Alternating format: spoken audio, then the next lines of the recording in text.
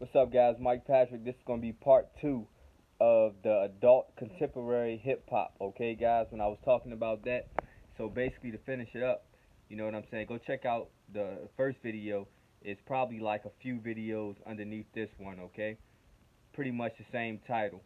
So, um, the thing is, guys, look, with adult contemporary hip hop, it's all about now, it's all about how you have evolved or how you evolve your content. It has nothing to do with the age because hip hop just came about in like the late 70s, early 80s, okay? So it's something new. So the only reason people think it's a young man sport is because it's a young art. You see what I'm saying? So therefore, think about the people who first started hip hop. You see what I'm saying? Like as they evolve, then it evolves with them. It doesn't mean they have to stop doing it. Okay, so you think of a singer, you wouldn't tell a person that they got to stop singing at a certain age, right?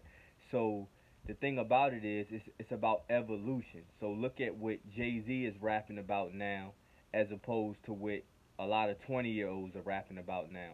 But they all are still rapping. They both still rapping. But we always think it's a young man sport because literally hip hop might be 35, 36 years old. You see what I'm saying? And so it has no choice but to have that young feel to it because it's new. All right, but you wouldn't you wouldn't say as an example, okay, if humans are a new species, right? Then you wouldn't say you can't be a human after 10 years old, okay? If humans just come about, then their lifespan is what it is, and you're gonna say you can be a human for as long as your lifespan, for for as long as you live. You would expect a person to evolve and to grow and to change, okay, with their experience and their their age, okay? So that's what it is with adult contemporary hip hop.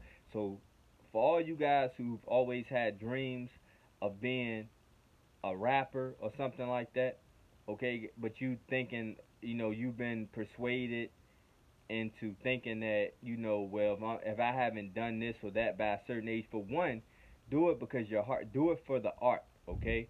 Not necessarily because you think you're gonna be the most famous rapper in the world and a, and a bunch of money. I know that that motivates a lot of people, okay, and that's the aim.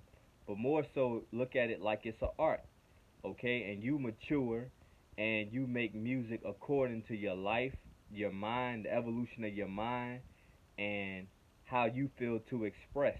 And you can rap as long as you want to, okay? Now it'd be different if rapping was around for, and it probably was around for millions or millions of years or whatever. But you know what I'm saying, like, so if if if it was a, around for millions of years, you know what I'm saying, and it was a thing where you just stopped doing it, people stopped doing it by a certain age, you know what I mean, 20, 30, then you could say, okay, rapping is a young person's sport. But because it's only like 30 something years anyway, you can't expect, you know what I mean? That's all we knew for it to be a young person sport because it's not but so old in the first place, okay?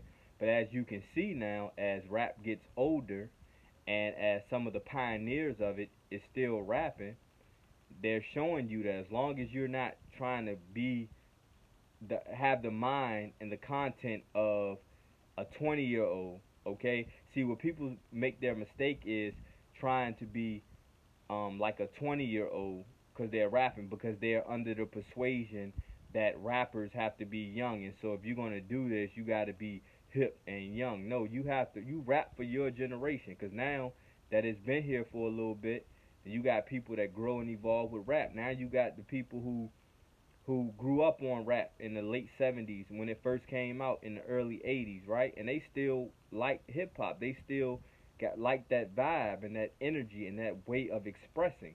But they not gonna be they not gonna be interested in what was being talked about when they was 30 years old. That's why things change. You know what I mean? You got to change with that. Like imagine somebody trying to rap like Kurtis Blow now.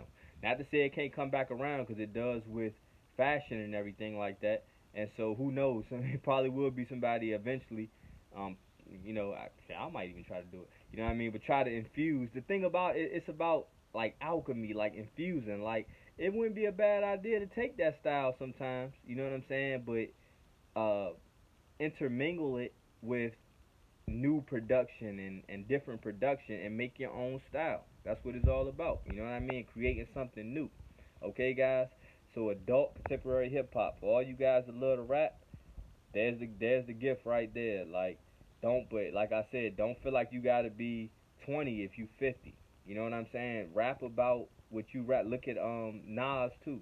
It's it's a bunch of it's a bunch of rappers still going now, and and their music is still great because their content has evolved. Okay, and they still make music for people that's around their age. You know what I'm saying? And then even younger people may appreciate it. You know what I mean? And even older people that's older than the rap era, who might be in their 60s, 70s, might appreciate it. You never know. Once it, because it's the content. Okay, mature rap. All right, guys. Peace.